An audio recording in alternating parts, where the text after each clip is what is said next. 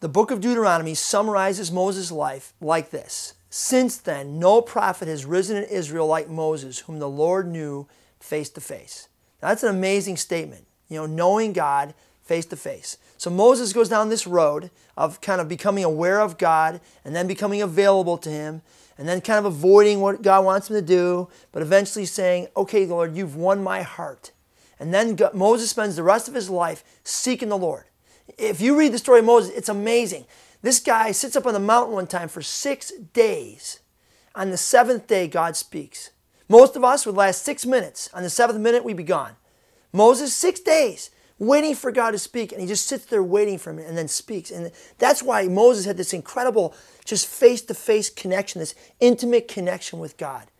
You know, wouldn't it be great to have a relationship with God like that, where you just like are so connected in that you literally almost see God's face? You know, Moses was the only guy in the Bible to actually ask to see God, and God said to him, "You can't see my face, but I'll show you my my backside."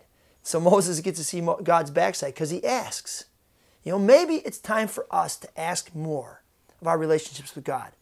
You know, what it would look like, what would it look like for you to actually see God face to face, to have such an intimate relationship with God that you saw his face, that you were able to touch him and hear his voice? Wow, that would be amazing. What would it look like to have a church of people that sought the Lord that much, that intimately, that we were just like moving out in the power of God?